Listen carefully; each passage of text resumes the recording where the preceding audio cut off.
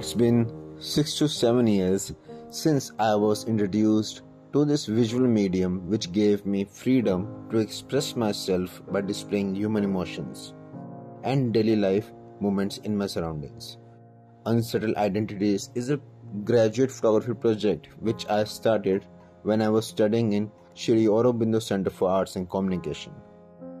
I started this project in the year 2018, April, when many makeshift camps of Rohingya community was gutted by fire in Delhi.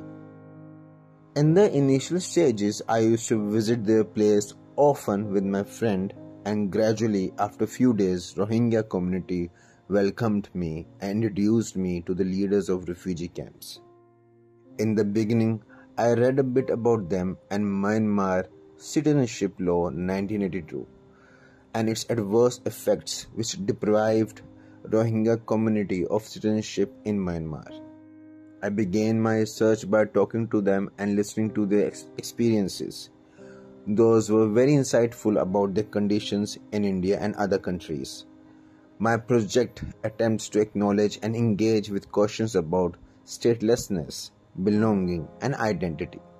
It's about psychosocial experience because identity is not only restricted to religion and nationality it's about what you feel and thoughts, which brings back the same processes or policies which were implemented in Myanmar.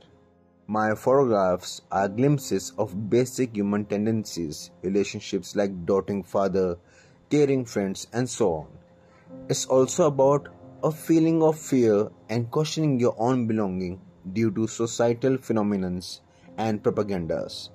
I wish to continue this project on long-term basis to share their stories but I am yet to observe more and learn more about migration and issues prevailing like relocation, memories of persecution and major police crackdowns.